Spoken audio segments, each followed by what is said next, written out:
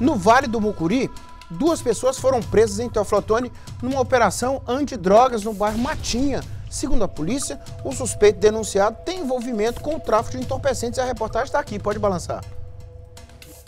Porções de maconha, três pistolas calibre 9mm, uma ponto .40, munições, dinheiro e celulares. Tudo estava em uma casa no bairro Matinha. Após 30 dias de observação do imóvel no bairro Matinha, a Polícia Militar conseguiu uma ordem judicial de busca e apreensão. Na ação, duas pessoas foram trazidas à delegacia. Segundo os militares, eles podem ser gerentes do tráfico de drogas na região. O militar que comandou a operação diz que essa foi mais uma ação de combate ao tráfico de drogas na cidade. Com o objetivo de coibir os crimes violentos, bem como coibir o tráfico ilícito de drogas.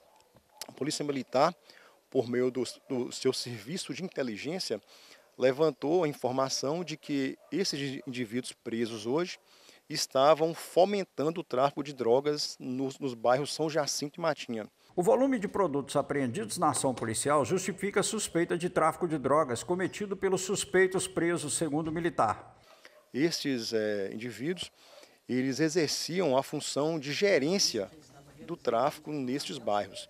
Diante disso, a Polícia Militar representou, junto ao Poder Judiciário, pela expedição de mandados de busca e apreensão. E nesta data realizou o cumprimento dos mandados. Então, diante deste, deste conjunto indiciário, os policiais militares deram voz de prisão em flagrante aos indivíduos e, e os conduziram até a Depol. Os dois homens levados à delegacia têm registros policiais, mesmo assim insistem na atividade ilícita. Um dos suspeitos, ele é egresso do sistema prisional, saiu recentemente da prisão.